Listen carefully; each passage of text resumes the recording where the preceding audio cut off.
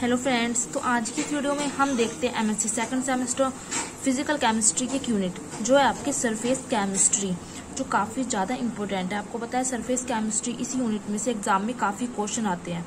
लगभग मैं कुछ चार पाँच क्वेश्चन आपको मिल जाते हैं। दो क्वेश्चन तो आपको लॉन्ग क्वेश्चन मिल जाते हैं, एक शॉर्ट में और वेरी शॉर्ट में भी आपको मिल जाता है। तो काफ़ी ज़्यादा इंपॉर्टेंट यूनिट है। आपको सरफेस केमिस्ट्री यूनिट अच्छी तरह से कर लेनी है। इस वीडियो में आज मैं स्टार्ट करने जा रही हूँ, उसका फ़र्स्ट पार्ट काफ़ी सारे पार्ट मैं अपलोड करूँगी। एंड इसके आपको क्या करना है नोट्स अच्छी तरह से प्रिपेयर कर लेनी है। वीडियो को पोज करने के बाद एंड अच्छे से समझ लेना है। तो चलिए हम वीडियो स्टार्ट करते हैं। सरफेस केमिस्ट्री फ़र्स्ट हम देखिए कि सरफेस केमिस्ट्री होती क्या है। ठीक है? It is the branch of chemistry ये क्या होती है? केमिस्ट्री की ब्रांच है। Which deal with the study of surface phenomena such as adsorption, catalysis and collides. तो ये क्या होती है? केमिस्ट्री की एक ब्रांच है जिसमें हम क्या स्टडी करते हैं? जिसमें हम स्टडी करते हैं सरफेस की सरफेस मतलब सतह की। ठीक है, ऊपर की जो सतह होती है सरफेस की हम क्या करते हैं स्टडी करते हैं इसमें। जैसे आपका एड्जॉर्प्शन कैटालाइसिस एंड कोलाइड्स इन सब की हम स्टडी करते हैं, किसकी सरफेस इसलिए, और ये केमिस्ट्री की ब्रांच है, इसलिए हम इसको कहते हैं सरफेस केमिस्ट्री की केमिस्ट्री की ब्रांच में जिसपे हम जो हमारे एड्जॉर्प्शन कैटालाइसिस कोलाइड्स जहाँ पे होते हैं सरफेस पर होते हैं तो उसमें हम सरफेस की स्टडी करते हैं। तो इस घटना को हम कहते हैं सरफेस केमिस्ट्री तो सरफेस केमिस्ट्री जब हम स्टार्ट करते हैं तो कुछ टॉपिक ऐसे होते हैं जो हमें जानने बहुत ज़्यादा इंपॉर्टेंट होते हैं। जिनको अगर हम नहीं जानेंगे तो हमें पता नहीं चलेगा वर्ड्स कहाँ से आए हैं। फ़र्स्ट ऑफ़ ऑल जैसे हम बात करें इंटरफेस की the surface where the two face met is called to interface means surface की टू फेस जब आपस में मिलती है, उसको हम कहते हैं interface it is denoted by hyphen और स्लैश इसको हम डिनोट कैसे करते हैं? हाइफन से या स्लैश से. फॉर एग्ज़ाम्पल जब आप आगे इसमें पढ़ोगे तो आप सॉलिड लिक्विड लिक्विड गैस सब ऐसे पार्ट देखोगे. एग्ज़ाम्पल यहाँ पे कहा है सॉलिड लिक्विड अब सॉलिड लिक्विड आपको पता है अलग अलग है. अब आपको पता है सॉलिड लिक्विड क्या अलग अलग है। तो हम इनको अलग दिखाने के क्या कर देते हैं? बीच में हाइफन लगा देते हैं। या हम इसमें स्लैश लगा देते हैं ताकि हमें पता चल जाए, यहाँ सॉलिड और लिक्विड की बात हो रही है। क्या तो सॉलिड हो सकता है या लिक्विड हो सकता है। तो कुछ ऐसे टॉपिक जैसे मैंने आपको इंटरफेस बताया, ऐसी आएगी जो काफ़ी ज़्यादा इस यूनिट में आपके लिए इंपॉर्टेंट होगी। वेरी शॉर्ट में आपसे पूछ भी सकता है what is interface right short note on interface तो कम से कम आप एटलीस्ट लिख तो दे, लिख तो दोगे। इसमें एक नोट आ जाता है। No interface exist between gases as they are complete miscible जो इंटरफेस है, वो सॉलिड क्योंकि लिक्विड सॉलिड के बीच हो सकता है बट वो कभी भी गैसों के बीच नहीं होता, ठीक है ना? क्योंकि वे क्या होते हैं कंप्लीटली मिसिबल होती है, आपस में मिली हुई होती है। गैसेज आपको पता है उसके जो मॉलिक्यूल्स होते हैं, कितने पास होते हैं।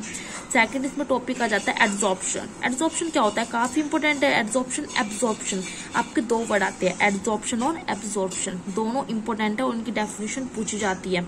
तो बात करते हैं एड्जॉर्प्शन ठीक है ना? तो एड्जॉर्प्शन है क्या? The phenomena of higher concentration of any molecule species at the surface than in the bulk of a solid or liquid is also known as adsorption. देखिए, आप ध्यान से समझोगे। मतलब जो एड्जॉर्प्शन आपका क्या है? द फिनोमिना ये घटना होती है हाई कंसेंट्रेशन वाले मॉलिक्यूल्स के लिए।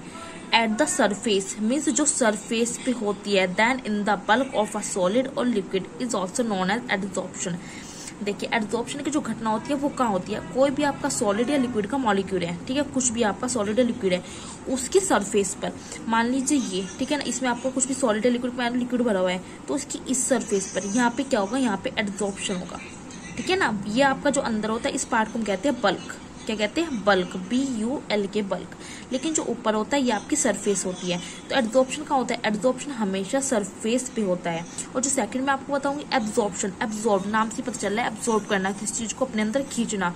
जैसे हम किसी स्पंज को अगर पानी में डिप कर दे तो क्या होगा? सारे पानी को अपने अंदर खींच लेगा बल्क में ले लेगा अपने। ठीक है ना? उसे कहते हैं एब्जॉर्प्शन आगे हम पढ़ेंगे।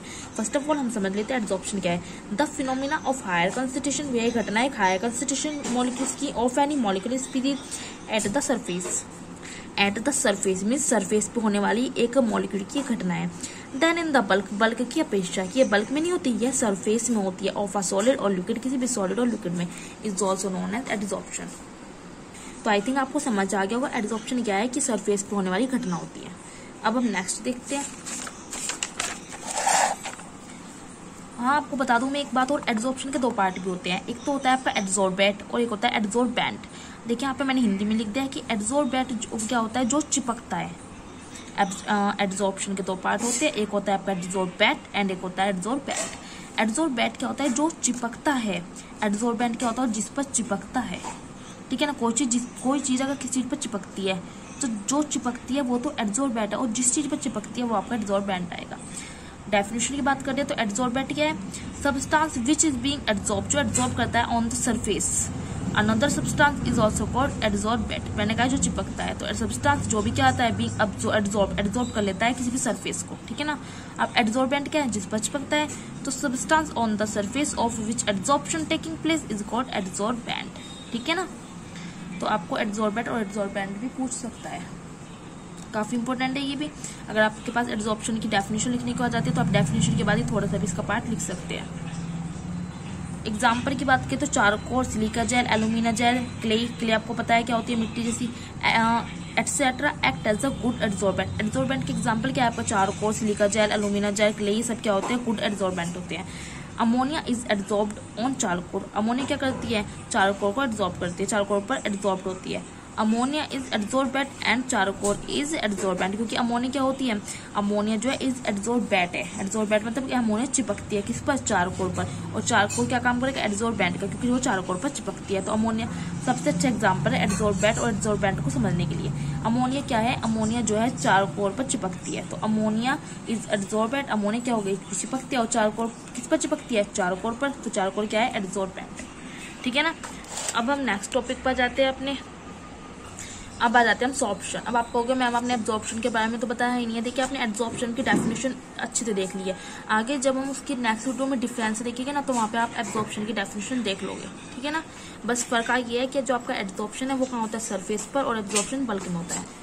अब टॉपिक आ जाता है आपका सॉप्शन इंपॉर्टेंट टॉपिक है कि सॉप्शन क्या होता है दिखते बच्चों को पता नहीं रहता है। तो देखिए, देखते हैं सॉप्शन होता है क्या है? The process in which the phenomena of absorption and absorption place simultaneously is also known as option as suggested by M C Bain देखिए, बहुत इजी सा है कि ऑप्शन होता क्या? है जो एम सी बेन जो साइंटिस्ट था, उन्होंने बताया, उन्होंने सजेस्ट किया कि यह वो प्रोसेस है जिसमें एब्जॉर्प्शन और एड्जॉर्प्शन जिसमें एब्जॉर्प्शन और एड्जॉर्प्शन दोनों साथ साथ होते हैं सिमल्टेनियसली होते हैं। तो सोप्शन क्या है? सोप्शन वो होता है जिसमें एड्जॉर्प्शन और एब्जॉर्प्शन दोनों की घटना, दोनों की फिनोमिना साथ साथ होती है, उसको हम कहते हैं सोप्शन मतलब जहाँ पे एब्जॉर्प्शन भी हो रहा है और क्या होता है? एड्जॉर्प्शन भी होता है, उस घटना को हम क्या कहते हैं? सोप्शन कहते हैं. देखिए कितना इजी है और इसको सजेस्ट किसने किया एमसी बेन ने किया तो ये आपका सोप्शन हो जाता है. अब नेक्स्ट जो आता है टॉपिक वो आपका क्या है? डिसऑप्शन डिसऑप्शन क्या होता है? वो तो आपका सोप्शन डिसऑप्शन क्या होता है? The process of remover of adsorbate from the surface of adsorbent is called desorption मतलब डिसऑप्शन वो प्रोसीजर है जो क्या करता है रिमूव करता है। एड्जॉर्बेंट को किसी भी adsorbent from the surface of adsorbent मतलब एड्जॉर्बेंट की सरफेस सतह से जो एड्जॉर्बेंट को अलग करता है डिसऑप्शन वो प्रक्रिया होती है। द प्रोसेस ऑफ़ रिमूवर यह रिमूवर करने की क्रिया है, जो एड्जॉर्बेंट को क्या करता है रिमूव करता है। एड्जॉर्बेंट की सरफेस से उसको हम कहते हैं desorption it can be about by heating और रिड्यूसिंग द ठीक है ना? It can be brought by heating off और रिड्यूसिंग द प्रेशर तो डिस ऑप्शन समझ आ गया जो एड्जॉर्बेंट जिस पर चिपकता है, उस पर कोई आपका कोई भी कुछ चीज़ आकर चिपक गई एड्जॉर्बेंट उसे कहते हैं तो जो एड्जॉर्बेंट की सरफेस से एड्जॉर्बेंट को अलग करता है, उसको हम डिसऑप्शन कहते हैं। एग्ज़ाम्पल है जैसे the uptake of gases by zeolite is also an example of sorption एक आता है आपका ऑकुलेशन ऑक्लूजन में क्या होता है? According to Graham the adsorption of gases on the surface of matter is called occlusion occlusion क्या होता है? ये गैसेज का एड्जॉर्प्शन होता है। जब भी कोई गैसेज का क्या होता है? एड्जॉर्प्शन होता है सरफेस पर। किसी भी सरफेस मैटर सरफेस पर तो उसको कहते हैं हम? ऑक्लूजन देखिए, ये लिखा है द एड्जॉर्प्शन ऑफ़ गैसेज जब गैसेज क्या होता है एड्जॉर्प्शन होता है, किसी भी मेटल सरफेस पर, उसको हम कहते हैं occlusion example behaviour of H two gas जैसे हाइड्रोजन गैस का व्यवहार। कोई भी गैस क्या होती है? किसी भी मेटल सरफेस पर एब्जॉर्ब हो जाती है, उसको हम कहते हैं ऑक्लूजन तो यहाँ तक कि आपका कंप्लीट हो जाता है. नेक्स्ट वीडियो में मैं आपको दिखाऊँगी ये वाला different between absorption and absorption ये काफ़ी इंपॉर्टेंट है. तो अब आपको क्या करना है? मैं स्टार्टिंग से आपको वीडियो दिखाऊँगी. आपको वीडियो को पोज करके अपने नोट्स को प्रिपेयर कर लेना है. ये फ़र्स्ट पार्ट है. मैं जल्दी ही सेकंड और थर्ड पार्ट इसका अपलोड करूँगी. एंड इस चैप्टर इस यूनिट के कंप्लीट नोट्स आपको प्रोवाइड करूँगी. अगर आपको मेरे नोट्स अच्छे लग जाए तो आपको चैनल लाइक करना है सब्सक्राइब करना है. चैनल सब्सक्राइब करना है एंड वीडियो को लाइक करना है। और अगर आपको इसकी नोट्स की पीडीएफ चाहिए तो आप मेरा टेलीग्राम चैनल ज्वाइन कर सकते हैं। टेलीग्राम चैनल जो है कीर्ति कोयल के नेम से लिंक मैं आपको डिस्क्रिप्शन बॉक्स में दे दूँगी।